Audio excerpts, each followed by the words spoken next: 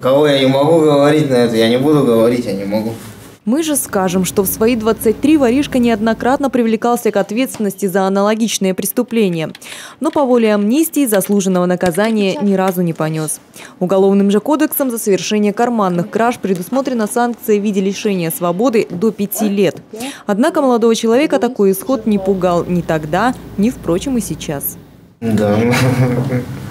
В этот раз добычей карманника стал дорогостоящий гаджет iPhone 5s. Однажды вечером на одной из автобусных остановок он виртуозно вытащил смартфон из кармана стоящей впереди него барышни.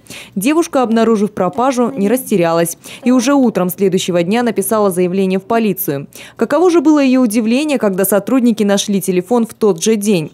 Свою пропажу она опознала сразу и поблагодарила полицейских за оперативность. Я хочу сказать большое спасибо за очень хорошую работу.